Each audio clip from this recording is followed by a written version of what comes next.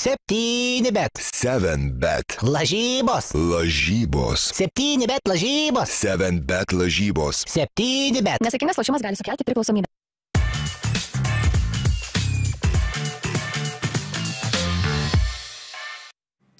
Sveiki, čia laida Krepšinio zona ir aš jos vedėjas žurnalistas Gediminas Inčiūras. Šalia manęs yra patyręs krepšinio vilkas, komentatorius Vaidas Šaponis. Sveikas, Vaidai. Begemotas, ne vilkas. Sveiki. Irgi ir begemotas, o kitame laido gale yra didelis blogas vilkas, kaip pats rašo Instagrame, Lietuvos rinktinės ir Vulfs žaidėjas Kristupas Žemaitis. Sveikas, Kristupai.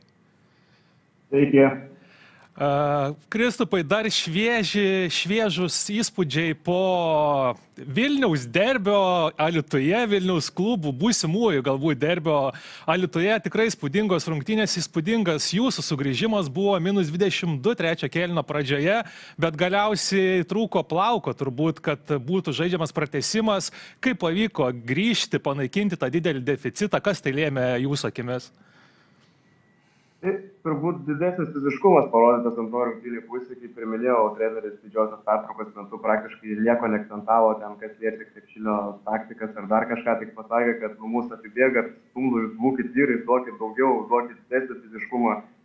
Ir, ir, ir aš manau, mums tas padėjo, iš tikrųjų, tų jėgų netgi kažkaip daugiau atsirado tas antrasis kvėpavimas, ten, nu, sakau, momentas, kad karpa buvo, kur mes bėgom, bėgom, užbėgom, pataikėm, įsigylėm ir tikrai ta antra pusė įpūtė daugiau to pozityvumo, aišku, gal rezultatas pralaimėjom, gaila, taip, yra tikrai daug dar blogų dalykų, taisytinų, reikia žiūrėti, kodėl atsitiko visų pirma tie minus 22 taškai, bet tai, kad komanda sugebėjome rasti jėgų ir sugrįžti ir padaryti, sakykime, tas tikrai geras, įdomias, gražias rungtynės, tai tas, tas, tas džiugina, tas nuteikia pozityviai žiūrint į ateitį. O tas paskutinis metimas Regimonto Minio to pašakinės ant lanko neįkrito. Norėjau paklausti, ar čia buvo ekspromptų ta ataka, ar suplanuota, nes ir pačiam atrodo buvo opcija iš vidutinio gautą kamolį mesti, nepaskė kamolys paties, bet ar čia ekspromptų viskas taip gerai pavyko, tik tai, kad neįkrito kamolys, ar buvo suplanuota? Ne, ne, turim šitą derinuką, iš tikrųjų, plus dar tuo metu vyko peržiūra, dėl tų kelių sekundžių dešimtųjų, kiek turėjo likti, tai irgi treneris pasikvietė, priminė dar, kad darom šitą būtent derinuką ir mes ten žinom tą struktūrą, kur kas turi bėgti. Ir jo, aš pasižiūrėjau video, aš realiai prabėgdamas netgi biškių letką atvedžiau pas Minio, tai biškį tą metimą, kaip sakoma, patrukdė, tai aš ten galėjau išbėgti ir irgi dar būčiau buvęs visiškai laisvas. Bet, nu, principė, geras metimas tokio, kokio ir norėjome. Ir tas kamuolys, aš ten sakau, iš mano rakurso, tai atrodė, kad jis eina labai geras valentos, bet taip pašakinėjai, iškrito ir, nu, taip, apmaudu, apmaudu buvo tuo metu. Bet kaip ir sakau, tikrai įspūdingas derbis buvo ir pačiam atmosfera pa, pa, patirti sekėsi turbūt irgi įdomu, buvo didelė prieš prieš tarp fanų, mačiau net ir video turbūt tavo žmonos pasidalintas buvo, kur ryto fanai neva alume ar kažkuo apipylė vietinius fanus, tai tą prieš priešą matyti įsižiebė, ar patiko atmosfera, pats triukšmas ir palaikymas rungtynių metu? Jo, e, pernai irgi, sakykime, kai žaidžiau už Panevežį, irgi turėjom daug rungtynių su rytu labai, tai nu, jie tą atmosferą tikrai labai gerą pakuria, aišku, tie kiti dalykai, kurie ten vyko, gal kažkas apipylė ten alume ar dar kažkas, tai aišku, čia to nepošė, aš nežinau, ten visos prieš istorijos ar kažkas buvo ar nebuvo, bet tai, nu, tikrai ne, ne, negražu elgtis, bet tie kiti dalykai, bet žiūrint tą visą skanduotės, nežinau, tą visą palaikymą į tą triukšmą, tai aišku, faina, aš įsivaizduoju ryto žaidėjams faina turėti žaisti prie tokių fanų ir mums kaip varžovams irgi smagiau, kai, kai yra toks triukšmas, palaikymas ir tai, tai, tai, tai tik tai sveikintam, bet sakau, tie kiti dalykai, tie kažkokia turi būti ta pagarba ir tas palaikymas, tu turi turėti savo ribas. Smagu, smagus toks mėly derbis gavosi. Vaida, bent jau per pirmus du kėlinius Vilniaus ryto žaidėjai lipo per galvas Vulfsams ir kamuolių daug atkovojo ir iš baudos aikštelės rinko taškus. Turbūt būtinai reikia Vulfsams pastiprinimo priekinėje linijoje tavo akimis, kaip galvoji. Taip, aišku, reikia. E, kaip kartais sakė Rimas Kurtinaitis, žaidžiam prie pagrindinio centro, dėlė daugiau pagalbinis ir prieš pikenrolo gynybą nėra stiprus, minėtoj šiek tiek uh, trūksta ūgio na, ir girdėjau, kad Johnny Hamiltonas gali atvykti į Vilkų komandą, gal Kristų pažino, gal nežino, buvęs Fenerbakčio žaidėjas, 2,13 m, pakankamai mobilus, gerai žaidžia pick and rollą, bet iš vidutinių be, beveik nemeta, Fenerbakčiai prisimenu tada nepritapo. E, Dabar žaidė Turkijos vienoje outsiderių, outsiderių komandų, bet bet kokiu atveju, jeigu atvyktų, tai būtų uh, solidus pastiprinimas Alitaus komandai. Ir Kristupai girdėjai apie tai, ką nors. E, Ne, tai turbūt žinau tik tiek, kad krepšinis net mačiau straipsnius, kad mes domimės, tai ten šiek tiek pasižiūrėjau tos highlightus, pasiskaičiau apie jį, o daugiau tikrai ne, nieko, nieko negirdėjau, daugiau ar čia šansų daug ar mažai, bet, bet faktas, mums toksai didelis žmogus tikrai, tikrai dadėtų, nes, nes trūksta tų galbūt to tokio buliaus po krepšių, tų centimetrų, tokio gal saizo ūgio, sakykime, tai ta, ta, ta, ta, tas, tas, tas naujas žaidėjas mums toks tikrai, manau, tą impulsą duotų. Kristupai, o kaip reagavote į tą skambų papildymą paskutinį iš Filipinų, Juaną Gomezą Delianio. Anksčiau, kai Bolai broliai atvyko į Prienus, tai buvo ten tokių žaidėjų, kurie piktinosi tuometinėje komandoje ir nelabai norėjo su tais Bolai žaisti. Ar čia nėra kažkokios, nežinau, iš paties ar iš komandos draugų neigiamos atmetimo reakcijos priemėt kaip tikrą komandos draugą, ar man, manot, kad čia toks market, marketinginis ėjimas labiau? Nežinau, ko gero, turbūt jo, man iš marketinginės pusės tai pamatėm, kad jau suveikė, nes tu daug iš, iš, iš karto socialiniuose tinkluose šovė viršų ten ties tais visais sėkimais, laikinimais ir panašiai. E, o iš krepšinio pusės, nu, aš galiu pasakyti, kad jis tikrai nu, normaliai visai atrodo, ta prasme, varžybų dar jis daug nežaidė, e, bet e, treniruočių metu, tai kad ir šiandien treniruotė buvo il- ilga treniruotė žaidybinė, tai irgi tai, jis turi tikrai supratimą, jis gan fiziškai stengiasi žiliniai iš užtvarų. Nėra, sakykime, kad darytų viską patys, kaip žinote, kai gal žaidėjas negauna žaisti, tai toks ir pasidaro, ne, ko aš čia tada važiavau. Ne, jis dirba, stengiasi, tikrai toksai dar, darbštus jaunuolis ir matysim rungtynių metu, kaip jisai, kaip jisai įsilies visą tą kolektyvą, bet šiaip mes jį tikrai labai gerai priėmėm, fa- fainas vyrukas, draugiškas, labai pozityvus, kalba, bendrauja, tad tuo pačiu rungtynių metu, nors jis, sakykime, nežaidė jisai, bet e, matome, tarkim, per minutės per trukėlę, jis praktiškai būna pats pirmas, kuris pakyla nuo solų ir, ir pasitinka tuos žaidėjus, kurie grįžta į aikštelę. Tai tikrai geras, geras vyras, matysim toliau, kaip jam tai seksis. Dabar vienas komandos lyderių yra Ahme- Ahmedas Keiveris, ko gero, ir Rimas Kurtinaitis e, savo, kad šitas žaidėjas gali priaukti ir Eurolygos lygį, kaip pats manai, kokį įspūdį palieka šitas legionierius. Jo, tai Akmadas mums tikrai labai labai daug prideda, ypač polime.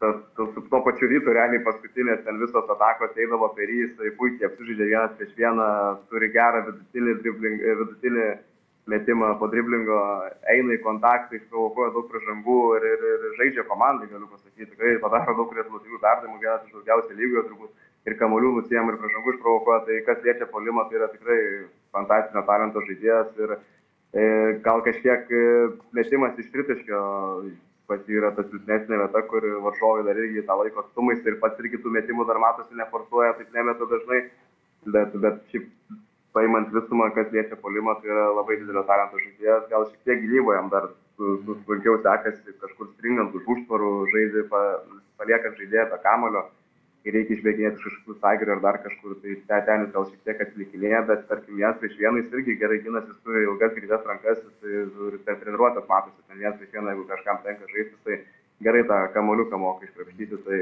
tikrai labai įdomus žaidėjas, įdomu žiūrėti, sekti ir aš manau, kad jisai, jeigu žais taip toliau, tai po šitų metų tikrai išaus į viršų ir bus įdomu pamatyti jo tą pilną potencialą. E, Kristupai, jis tiesioginis tavo konkurentas dėl minučių aikštė, aišku, būna, kad jūs kai ir kartu e, rungtyniaujat, bet e, vis dėlto tavo vaidmuo čia Vuls komandai šiek tiek menkesnis negu buvo, negu buvo Lietkabelį. Lietkabelį tavo ir statistika buvo geresnė.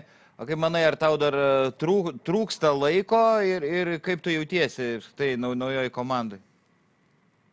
E, jo, nu aišku, pernai panevežį man taip gan sukrito Ole Kortas, kad mano pagrindinis konkurentas Radičius, ko gero, trečdalį sezono buvo traumuotas ir nežaisdavo. Tai tos minutės automatiškai pas mane būdavo didesnės ir kartais avansų žaisdavau daugiau.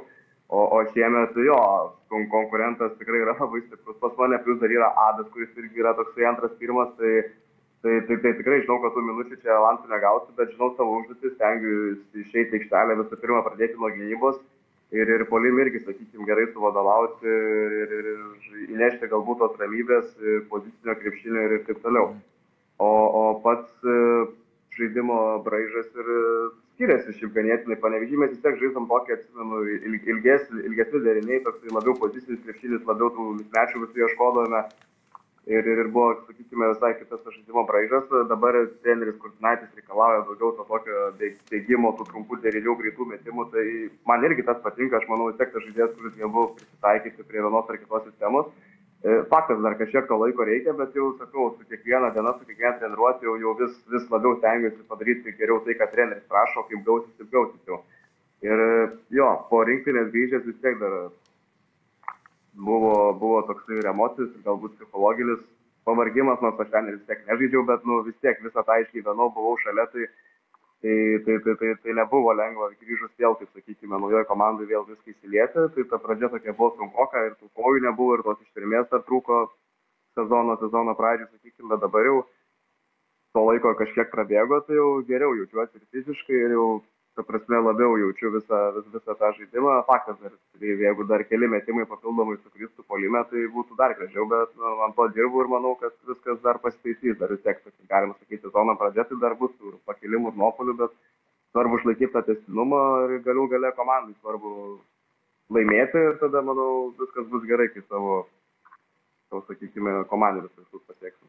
Kristupai prieš gerą mėnesį vienas rungtynės žaidėjai su prisektu mikrofonu ant kūno ir peržiūrėjau tą epizodą dar kartą ir ten vienos minutės pertraukėlės metu ar šiaip rungtynių metu prie tavęs priejo Rimas Kurtinaitis ir dabar pacituosiu, ką tau pasakė. Tu labai geras vaikas, bet reikia naglumo ant to pick and rollo. Tai ar sutinki, kad tau, kartais galbūt trūksta įžulumo ir ką šiaip tu- turėjo Rimas omenyje, kad naglumo ant pick and rollo, kad tu pats užbaiginėtum ar kažką aštriau darytum pick and rollo metu? Jo, jo, tai čia tikrai labai gera pastaba trenerio, kuris turbūt ne, ne pirmas treneris ir ne pirmas žmogus, kuris man tą pasako.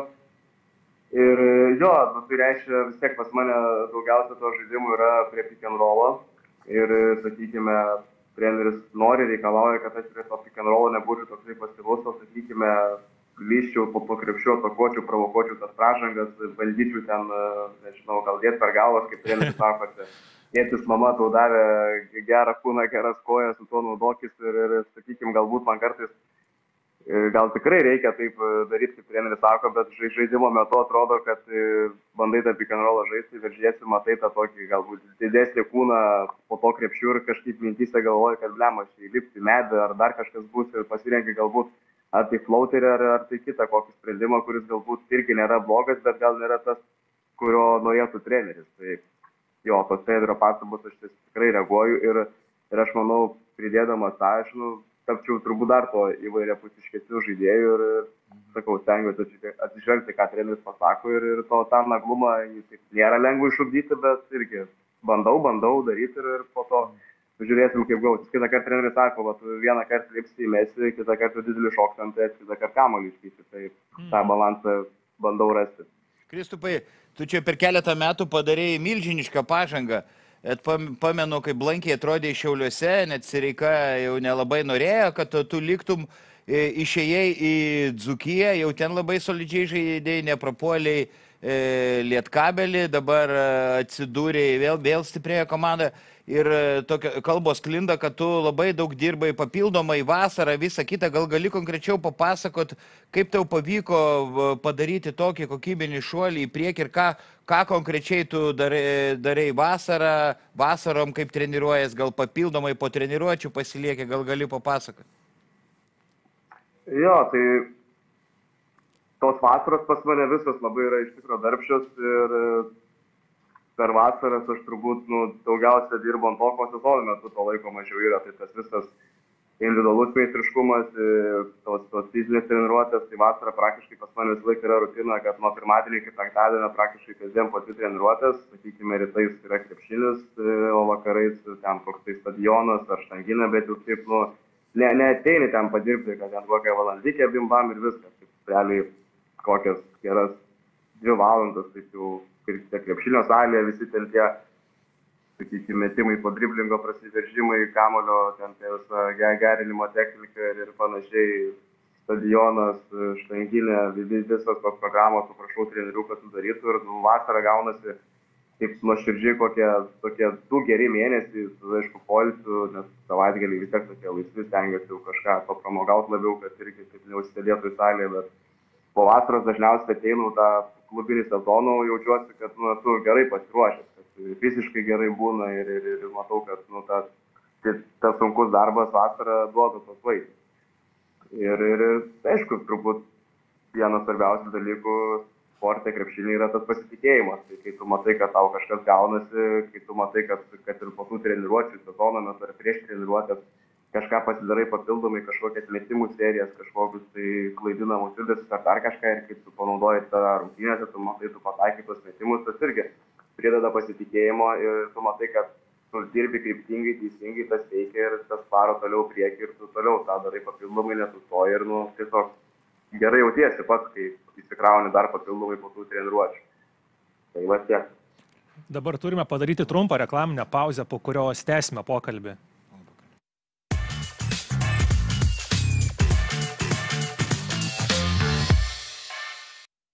Septyni bet. 7bet kazino. Septyni bet. 7bet kazino. Septyni bet. Dalyvavimas azartiniuose lošimuose gali sukelti priklausomybę.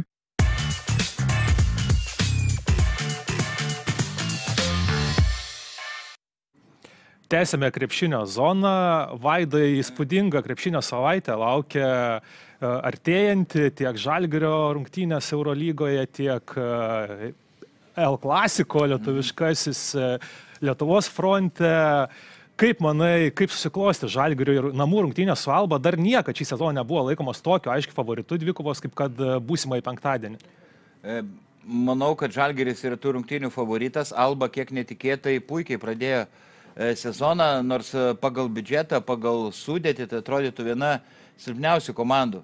Manau, Albos stiprybė yra treneris, ispanas Gonzalesas, baisų manus treneris, daug ką perėmės iš Aito Garcijos Reneseso, kai buvo jo asistentas ir Alba žaidžia labai gerą, protingą krepšinį, bet vis dėlto Žalgeris savo žiūrovų akivaizdoje na, privalo veikti tą komandą, jeigu žalgyriečiai nori nu, būti bent turnyro kažkur lentelės, lentelės viduryje. Ir tai tikrai yra įveikiamas varžovas. Jeigu reiktų prognozuoti, sakyčiau, žalgerio pergalė. Na, penkiais, aštuoniais taškais maždaug.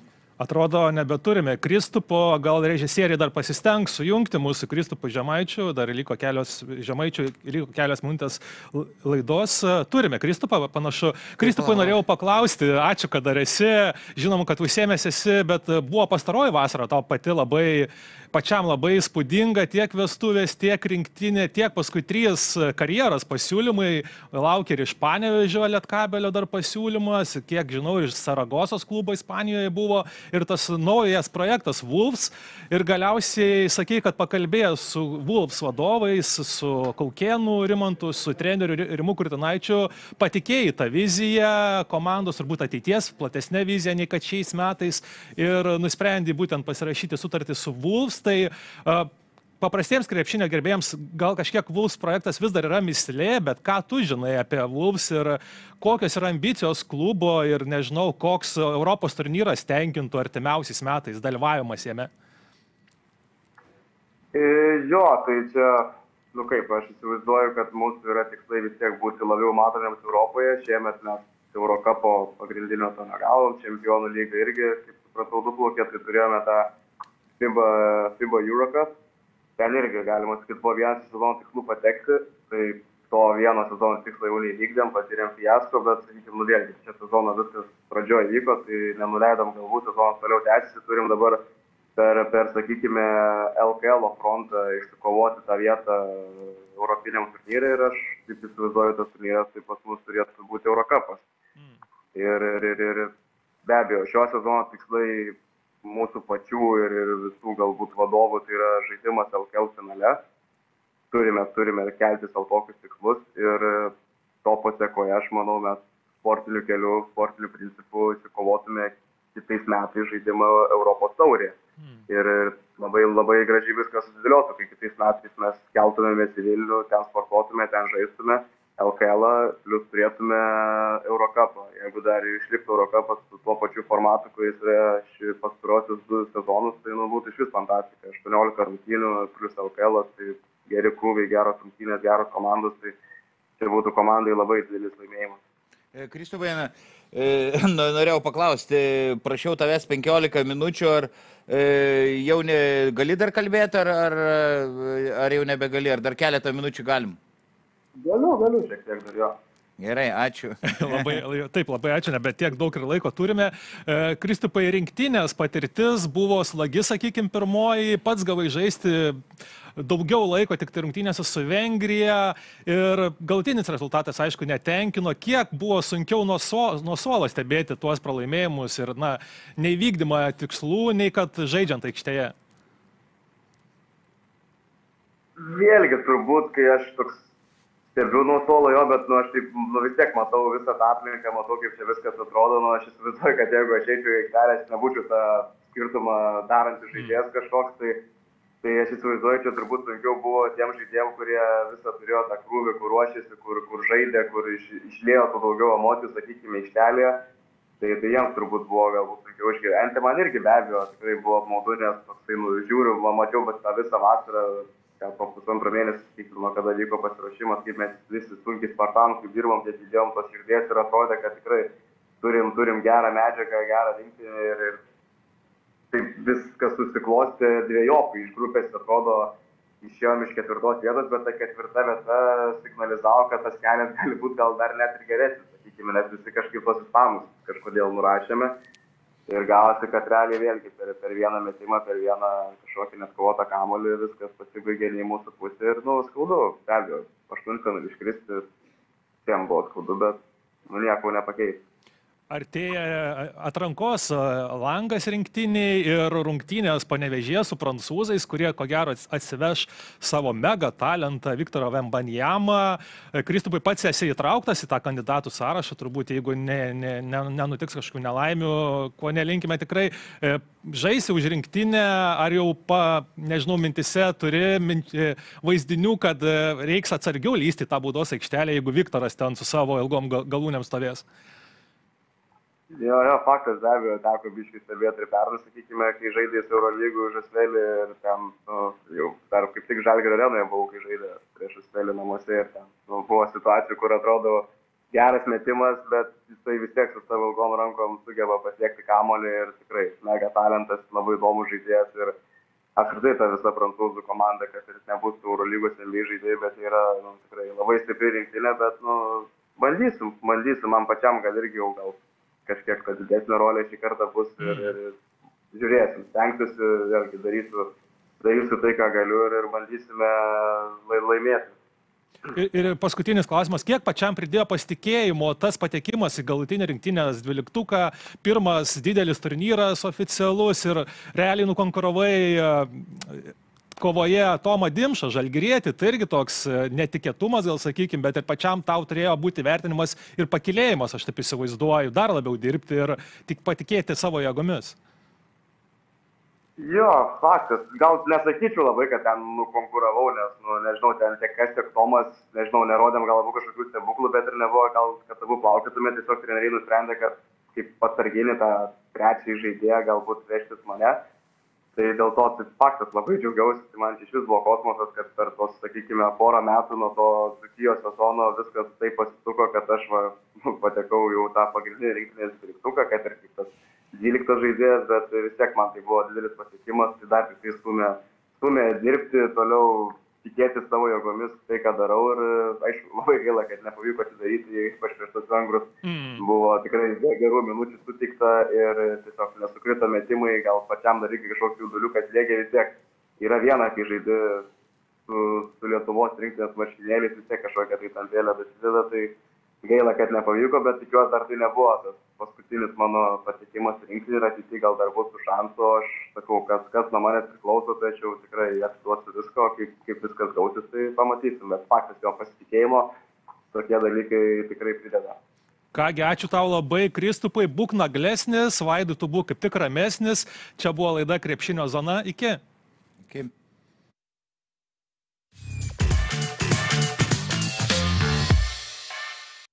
Septyni bet. 7 bet. Lažybos. Lažybos. Septyni bet lažybos. 7 bet lažybos. Septyni bet. Nesėkmės lošimas gali sukelti priklausomybę.